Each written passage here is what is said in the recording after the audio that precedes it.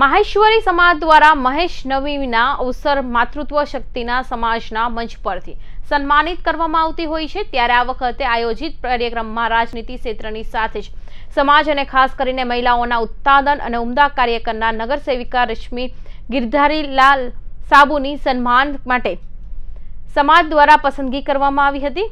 સમાજના લોકોને જન્મમેદની વચ્ચે મંચ પરથી આ મહેશ ભારતીને સન્માનિત રશ્મિ સાબુને એનાયત કરાયો હતો. આ પ્રસંગે સમાજ દ્વારા રશ્મિ સાબુને શુભકામનાઓ સાથે જ તેઓ રાજનીતિની સાથે સામાજિક જીવનમાં પણ સેવા કાર્ય સુવાસ ફેલાવતા રહે એવી કામના કરી હતી એવોર્ડ વિતરણ સમારોહમાં સાથે જ ભવ્ય શોભાયાત્રા રુદ્રાભિષેકનું આયોજન કરાયું હતું સાથે સમાજના તેજસ્વી તારાલાઓ અને ચક્ષુદાતાઓને પણ સન્માનિત કર્યા હતા આ પ્રસંગે નૃત્ય નાટિકા અને સંસ્કૃત કાર્યક્રમોનું પણ આયોજન કરાયું હતું આ સમગ્ર કાર્યક્રમમાં માહેશ્વરી ભવન સિટી લાઇટ ખાતે યોજાયો હતો નમસ્કાર મેરા નામ રશ્મિ સાબુ હૈ मैं वार्ड नंबर 22 से कॉरपोरेटर हूँ और स्थायी समिति सदस्य हूँ।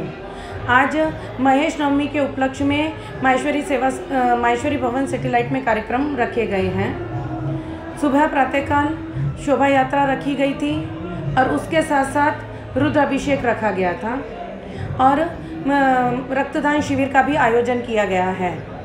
और अभी शाम को सांस्कृतिक कार्यक्रम और उसके साथ साथ समाज के चक्षुदाताओं का सम्मान और नई प्रतिभाएँ जिन्होंने विविध क्षेत्रों में, चाहे एजुकेशन हो, चाहे सामाजिक हो, कुछ योग्यता अर्जित करी है, उनका सम्मान किया जा रहा है।